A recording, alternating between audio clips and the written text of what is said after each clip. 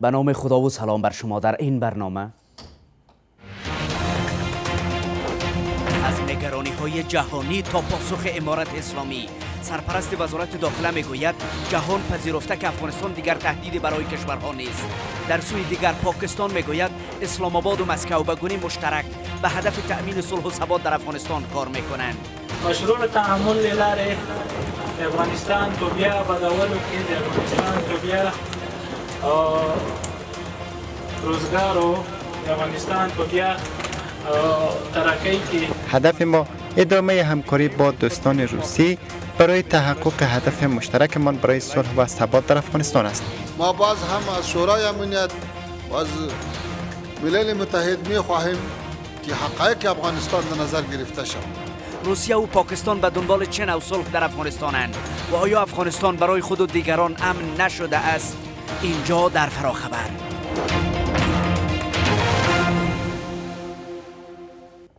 من شمس همانی هستم و مهمانان فراخبر آقایان شریف غالب مشاور پیشین پالیسی وزارت خارجه از طریق اسکایپ با ما وصل هستند و تا لحظات دیگر اینجا آقای عبدالناصر شفیق آگاه مسائل سیاسی هم با ما خواهند پیوست. آقای غالب سلام بر شما. بسیار خوش آمدین به فراخبر. روایت جهان از افغانستان امروز چگونه است؟ آیا آنچه آقای حقانی میگه واقعا اعتماد کرده و پی برده که افغانستان به جغرافی های امن هم برای خودش و هم به دیگران مبدل شده یا برعکس روایت دارند بارز سپاس و امتنان از شما و سلام عرض می‌کنم خدمت بیننده های فراخبر همچنان. ممنون.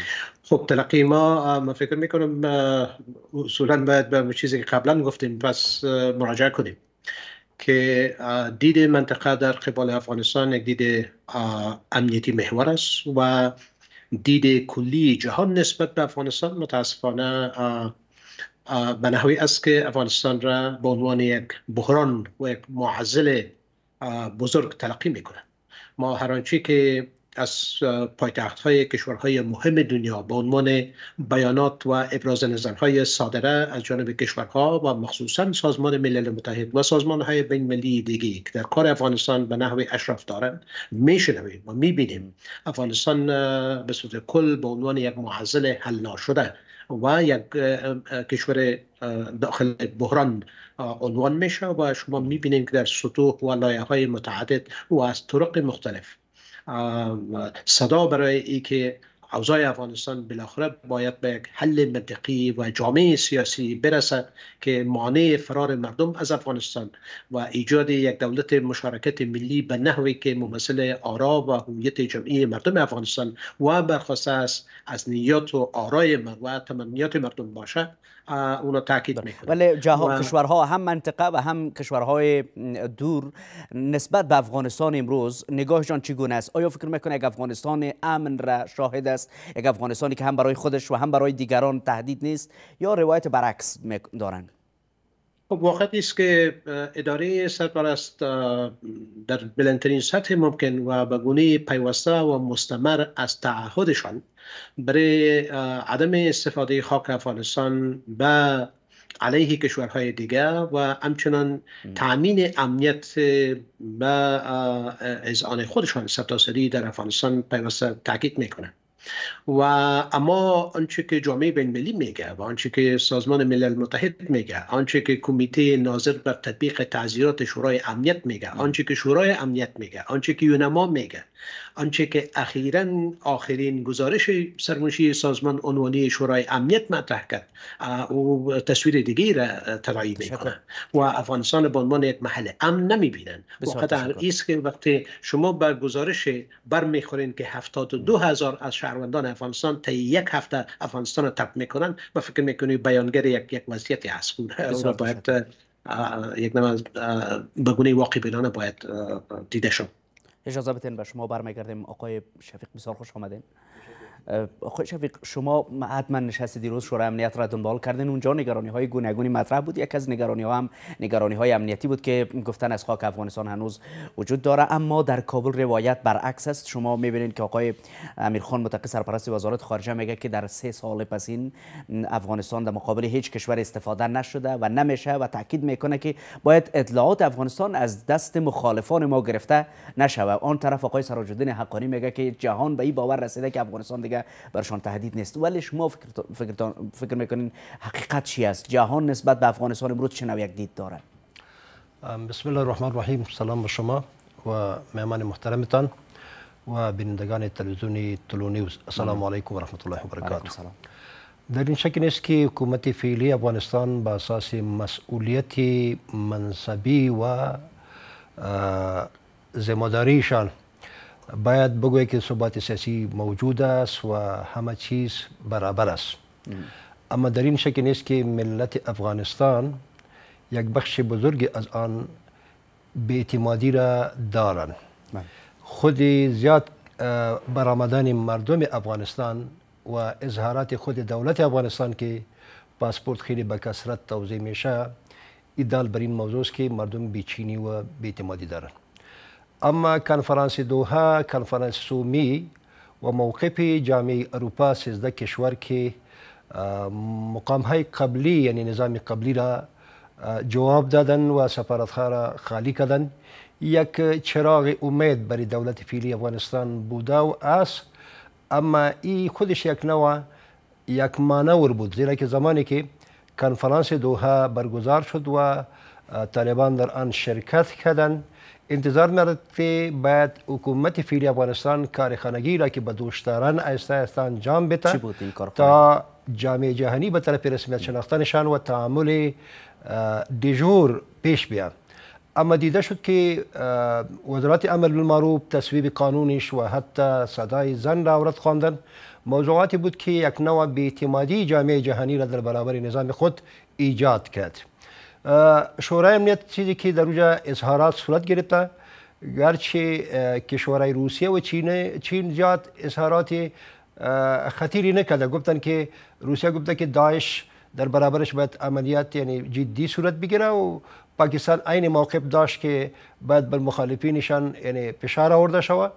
اما خود امریکا و انگلستان و دیگر کشورها زیاد بعضم حقوق بشری را عنوان کردن ایدال بر این است که جامعه جهانی تابانی هم به دیدی یعنی اطمینان نبینن به دولت پیری افغانستان و اصلا علت است که تا زمانی که ما در نظام فعلی یک تجاوب برای خود ملت افغانستان از طریق یک تنوعی سیاسی و از طریق ورداشتن تعطیلی که در عرصه تعلیم دختران آمده و کار زنان آمده در این رابطه یک چراغ صد نشان داده نشود فکر می‌کنم دستاوردی که در کنفرانس دوها دولت فعلی افغانستان به دست داشت او را شاید از دست خواهد داد. تشکر سپاسگزار شما. آقای غالب آیا کشورهای نگران همین کشورهایی که نگرانی می‌کنه از خاک افغانستان چی از لحاظ امنیتی چه از لحاظ وضعیت حقوق بشری اینها چیزی بر اثبات نگرانیشان داره یا نه؟ فقط به گفته آقای متقی از زبان مخالفان معلومات گردآوری می‌کنه و او را در گزارش هایشان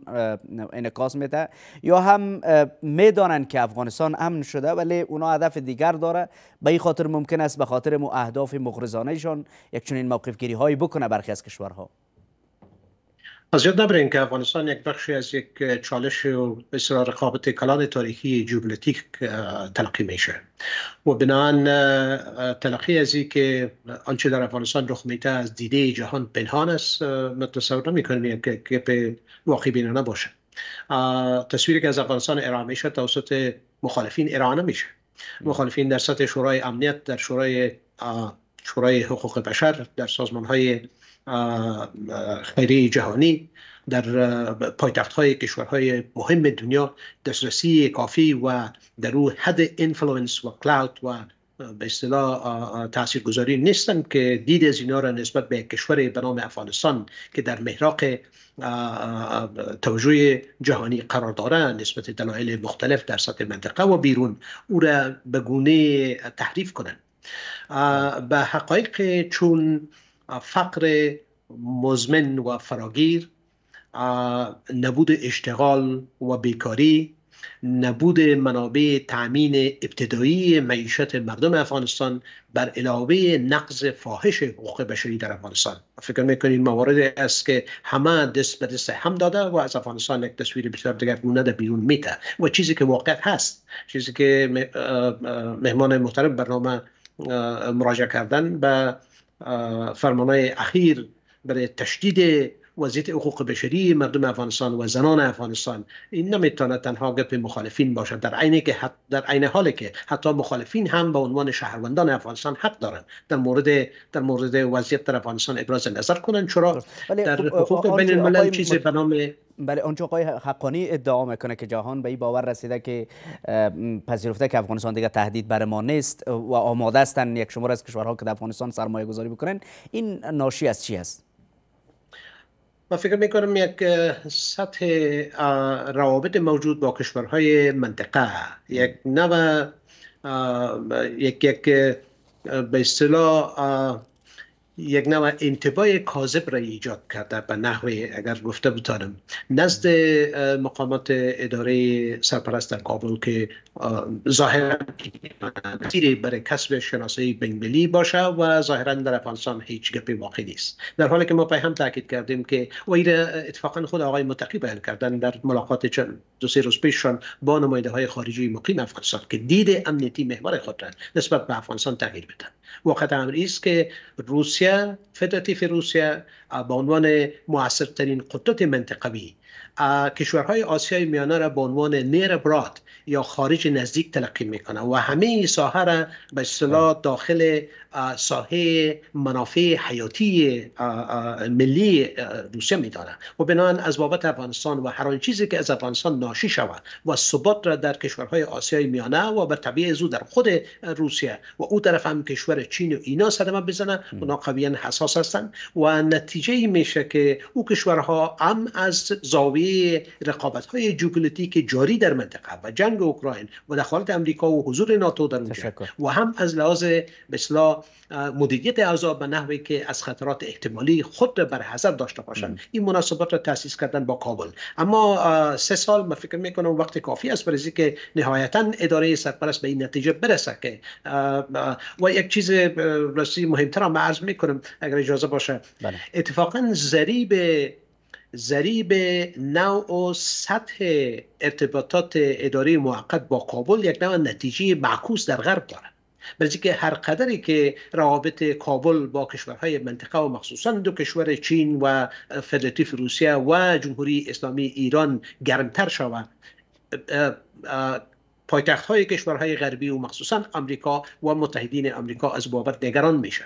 بنابراین یک یک, یک معضل است که او به این سادگی که تلقی میشه کسب شناخت بین‌المللی و چیزی که آقای متقی میگن من فکر می‌کنم بس سادگی قابل حصول نیست. بسیار تشکر سپاسگزار شما آقای شفیق سه سال گذشته که امارات اسلامی در افغانستان حاکم است سه سال هم وقت کمی نیست. اما در همین سه سال امارات اسلامی میگه که از خاک افغانستان علیه کسی کار گرفته نشده نمیشه اطمینان میتیم که علیه کسی کار گرفته نمیشه و میگه ما متعهد هستیم. ولی باز هم اگر باور نمیشه مثلا معاون وزیر خارجه روسیه به پاکستان میره با وزیر خارجه پاکستان می‌بینه و در اونجا پاکستان میگه که ما با مسکو به گونه مشترک برای تأمین صلح و ثبات در افغانستان کار می‌کنیم. چقدر شما فکر می‌کنید اولی که اونها واقعا به خاطر از اینکه ثبات در افغانستان پاورجا بمانه و مستحکم شوه کار می‌کنه و از طرف دیگه آیا صلح و ثبات که اینجا یاد میشه و باور دیگه کشورها او در افغانستان نیست؟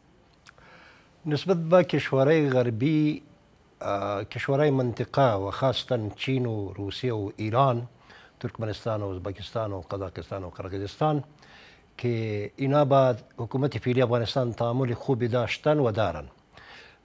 ما میبینیم که این دفعه پاکستان با روسیه که در حقیقت یک تاریخی فراز و نشیب تعلقات مثبت و منفی با خود داشتن. زیرا که در دهه 80 و 90 هر دو کشور به هم حریف بودند بله. اما بعد از اینکه اتحاد جماهیری شوروی محلال صورت گرفت و پاکستان رابطه با کشورهای آسیای مرکزی پیدا کرد روابطش خوبتر شد. اما دیده شد که پسان در بین کشورهای منطقه یک پاکستان بیچینی داشت دیگه کشورهای منطقه اطمینان داشت. اما این به اظهارات دو مقام مسئول در منطقه که روسیه و پاکستان هم وزن در شانگهای داره و هم در منطقه در افغانستان زیاد یعنی دستایشان دراز بوده و تا حال هم شاید الکدامش یعنی نقش را ایفا کنن. اینا به هم یک موقف گرفتن یک زنگ خطر برای دولت فیل افغانستان تلقی میکنن. چرا؟ زیرا که پاکستان از وقت می داشت که تی تی پی در پاکستان در افغانستان جای اماکنی پر امن داره و حکومت فعلی افغانستان با اونا در زدودتشان و بیرون راندنشان همکاری نمیکنه. اما حمله اخیری که در دلامان صورت گرفت و مسئولیتش داعش خراسان به دوش گرفت این نظر به که روسیه از وقت داعش خیلی یعنی یک تشویشی داره و چین هم عین تشویش داره پس خدا نخواست اگر این عملیات گسترده‌تر شود و وضعیت به این منوال پیش بروه مثل که در دلامان کدام حمله صورت گرفت.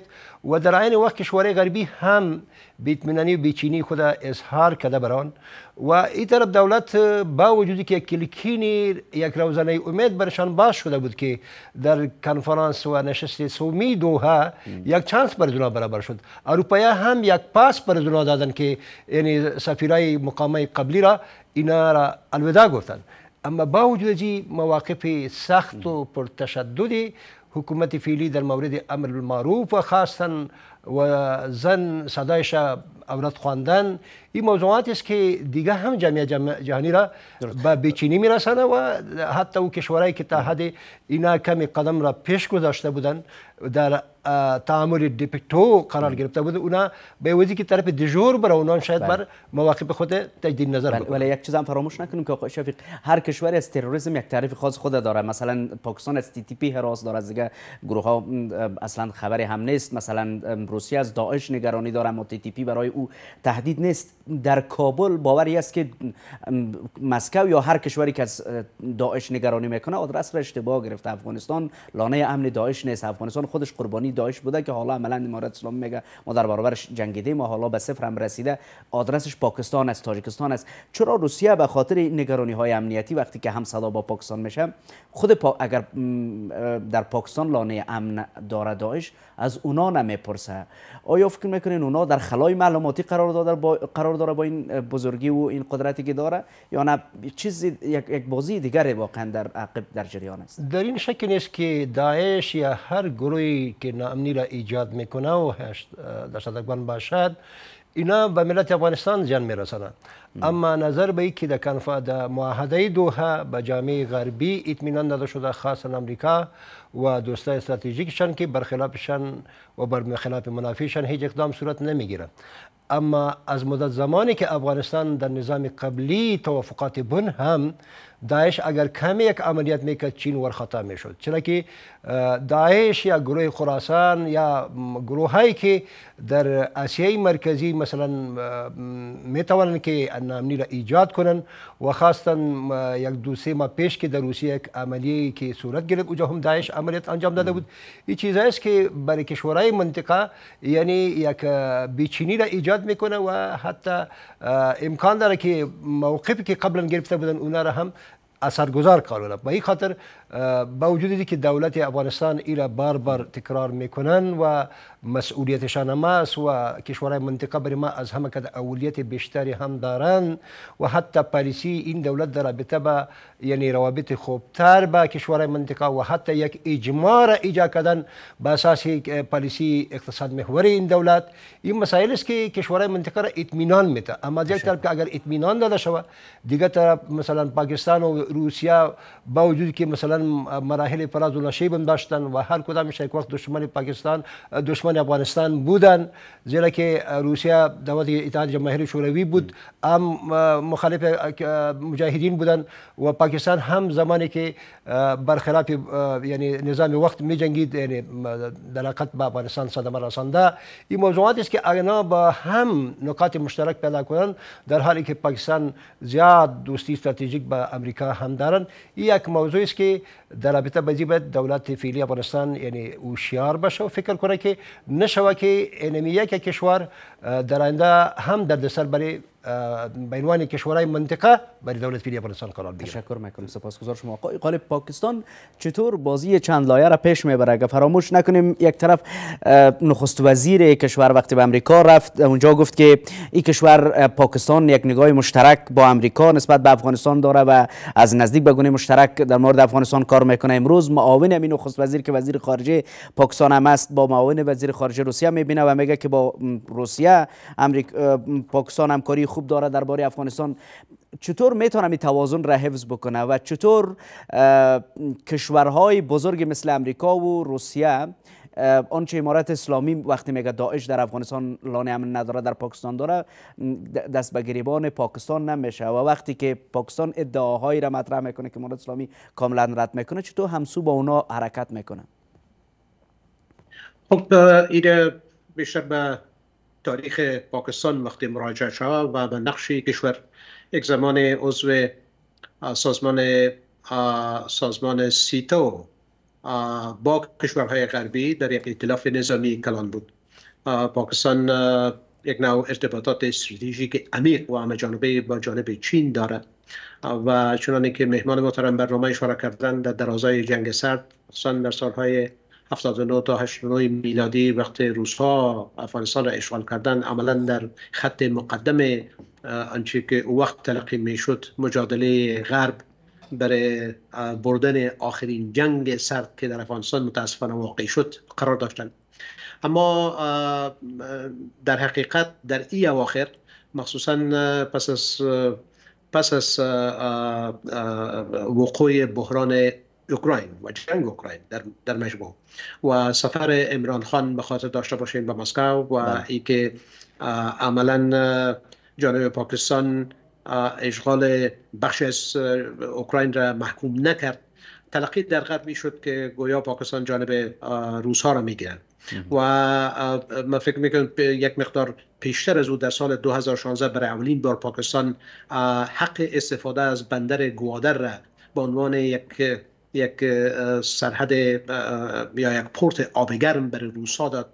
در سال 2017 عضویت شانگهای به عنوان یک سازمان منطقوی سیاسی اما عمدتا نظامی که روسا یک بخشی از بنیانگذارای از او هستند و حیثیت ناتوی منطقه را دارد و او را گرفت. آل هم در صدد عضویت در بریکس هستند و روسا گفتند که از عضویت کامل پاکستان در بریکس و الحاقش حمایت می‌کنن اینا همه یک تراجکتوری تازه نشان میده که پاکستان با روسها در صدد به اصطلاح ارتقای رابط هستند اما من موافق هستم با چیزی که گفته شد که به خیر افغانستان بسیار نیست و اون دقیقا نسبت چیزی که شما گفتین. و که پاکستان متاسفانه در در موزیگیری خود در قبال افغانستان و شاید هم در کل منطقه صادق نیست. امروز حتی در سطح کنگرس امریکا کسایی هستند که بسیار با وضاحت اذعان می‌کنند که شکست ما در منطقه بیشتر به به اصطلاح به بازی های دوگانه پاکستان برمیگرده که از ما مثل گاو شیری میلیاردها و میلیون ها دلار را برای مبارزه ظاهرا برای مبارزه با تروریسم گرفت اما عاقبت امر اسامه بن لادن در ایبت آباد پیدا شد. اما متاسفانه بهای همه از پر افغانستان مظلوم پرداخت. چرا؟ و اما متاسفانه من فکر می‌کنم در وقت آقای کرزی یک چیزی که برای آقای کرزی یعنی باید چی شود؟ به عنوان یک یک حرکت استراتژیک اشاره را امیز که بارها از امریکا خواست که و علنا و فکر می‌کنه می‌خواست تا موجب تریگی رابط با پاکستان شد که اصل لانه های امن تروریسم در افغانستان نیست در پاکستان است و شما در آتش غلط در جستجو هستین. و چرا قرا و قصبات افغانستان ناحق به اصلاح به مو چی کشیده شد اما متاسفانه وضعیت همونطور است تصور ما است که ای البته با احترام با پاکستان به عنوان یک همسایه با درک این امر که هیچ کشور همسایه خود انتخاب کرده نمی‌تونه بلکه که کشور همسایه ماست اما من تصور می‌کنم از بازیایی که شما گفتین بازی های چندگانه من تصور می‌کنم وضعیت در آخر خط رسیده و پاکستان با چیزی مواجه است که نه استراتژیکلی دوباره ریورس تشکر شفیق هدفی از مسئله افغانستان باید حل شود افغانستان عضو جامعه ملحق شود به عنوان عضو جامعه بین الملل یک بار دیگه و به رسمیت شناخته شود به کدام سمت میره واقعا؟ این همه بازی هایی را وقتی شما می‌بینید. ما در حالی که جهان غرب و در مجموع کشورهای منطقه را اطمینان میتیم که به اساس پالیسی اقتصاد محور که مسئولین این اظهارات بار بار می‌کنه که کشورهای خارجی در اینجا سرمایه‌گذاری می‌کنه اما زمانی که می‌بینیم که خود ملت افغانستان قشر جوان اشتغال زده را چانس ندارد. حتی افرادی از پونتونا به سطح ماستر و دکتر فارغ شدن اونها چانس وظیفه در کشور ندارن پس این کسرت مهاجرت از افغانستان یا دور رفتن مردم از افغانستان یک خطری برای همه کشورهای جهان تلقی میشه و خاصا به کشورهای منطقه. کشورهای پاکستان و ایران و کشورهای آسیای مرکزی که طبعا با اثرگذار سر روسیه میشه و مواقف مشترکی که پاکستان و روسیه در زمان در این مقطع زمانی میگیره. این دلالت به که در حقیقت یعنی بیچینی وجود داره. هم به اونا و هم به افرادی که در ملت یعنی میخواد که یک چانس کار وظیفه پیدا کنه و خوب تعلیم و سطح دانش هم بلند باشه و اینجا قدرت به یک شکل پیش میره که هیچ کس یعنی چانس مطرح شدن در عرصه سیاست نداشته باشه. این بیتمینانی بیچینی ادامه میده بعد به خاطر دولت یک تنوع سیاسی را ایجاد کنه. با افرادی یا به جهات هایی که اقلا مشترکات به اونا بیشتر دارن و یک قانون اساسی را به عنوان یک وسیقه ملی و نیاز مبرم ملت افغانستان سرش کار کنه بسیار بله، تشکر بله. آقای عبدالناصر شفیق آگاه مسائل سیاسی و آقای شریف غالب مشاور پیشین پالیسی وزارت خارجه از حضور مهمان گرامی. از شما بیننده ها هم سپاسگزارم. پایان فراخبر.